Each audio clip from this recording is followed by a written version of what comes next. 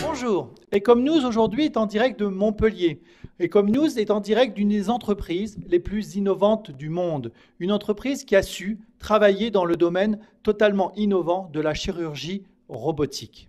Cette entreprise a été créée à Montpellier en 2002 par un homme visionnaire qui est Bertin Naoum.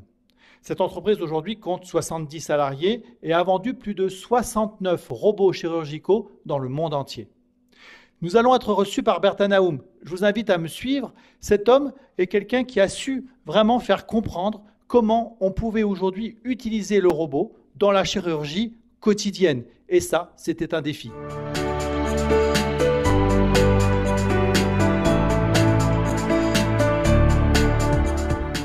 Crois qu'aujourd'hui, il y a un réel momentum de ce qu'on appelle la robotique chirurgicale qui commence à être euh, de plus en plus reconnu comme étant un outil absolument indispensable dans l'évolution de la chirurgie, tout simplement parce que les robots sont en fait des outils intelligents qui vont assister les chirurgiens dans ce qu'on appelle la chirurgie moins invasive, c'est-à-dire notamment au travers d'incisions plus petites le rôle que la, robotique et la technologie peuvent jouer à très court terme, c'est de fiabiliser l'acte chirurgical, c'est-à-dire de permettre d'offrir au plus grand nombre euh, d'utilisateurs, de chirurgiens et donc de patients les plus hauts niveaux de qualité de soins possible. dès que je suis arrivé en neurochirurgie, pour moi, le, bras robotisé, c'était une évidence.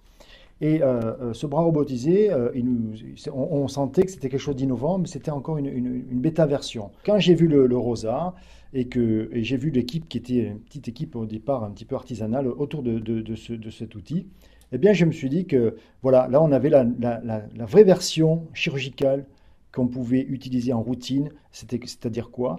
Une fiabilité, une, la précision, une facilité d'utilisation. Et euh, quatrièmement, un autre élément important, c'est un outil sur lequel le chirurgien peut se reposer parce que le, robot, lorsqu'il est fiable, il ne va pas faire d'erreur. Alors que la main, où la fatigue du chirurgien peut être amenée à faire des erreurs de calcul, des erreurs de positionnement. Donc ça enlève cette partie-là, finalement, euh, du, chirurgien, et ça, rend le geste euh, plus, je dirais, mathématique, peut-être, plus standardisé, mais plus fiable surtout. Les hôpitaux nous font confiance tout de même parce qu'ils savent que les chirurgiens sont, sont à l'hôpital parce qu'ils ont une vie d'innovation, ils ont envie d'amener le meilleur à leurs patients. Je crois que ce qui est le, plus important, c'est que au bout d'un certain temps, on a montré que cet outil, ce n'était pas un caprice des chirurgiens. On l'utilise au quotidien. Euh, c'est pas quelque chose que l'on met dans un placard une fois qu'on a fait joujou au bout de quelques temps. Une des raisons pour laquelle ce, bras robotisé a du succès, c'est que c'est un outil qui euh, euh, est utilisé de façon routinière.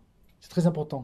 C'est quelque chose qui est intégré complètement au bloc opératoire. Clairement, la, la robotique chirurgicale, d'une façon générale, est en train de prendre une place prépondérante, je dirais, dans la chirurgie moderne.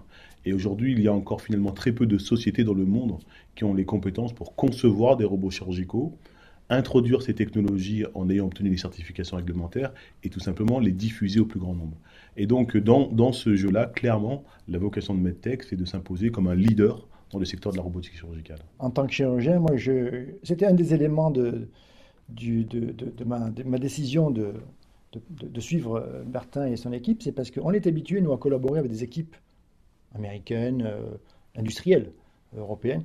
Et là, on avait une équipe française. Alors, je ne dis pas qu'on est, que c'est un élément le plus important, mais on est fier quand même de, de, en France, qu'il y ait une équipe qui, qui se mette à faire quelque chose d'intéressant. Et si les chirurgiens français ne, ne, ne, le secondent pas et ne le soutiennent pas, ça veut dire qu'il y a un problème de, communication ou de, ou de confiance. Lorsque j'ai eu mon projet de, création d'entreprise, euh, j'ai décidé de le développer à Montpellier parce que j'ai senti très tôt qu'il y avait effectivement un écosystème extrêmement favorable pour l'innovation. Et effectivement, je dirais, mes intuitions ont été confirmées.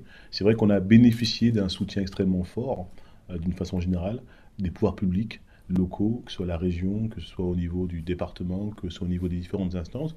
On a la chance sur ce territoire d'avoir des pépinières telles que Capoméga qui sont euh, extrêmement fortes, extrêmement compétentes pour accompagner les projets d'innovation.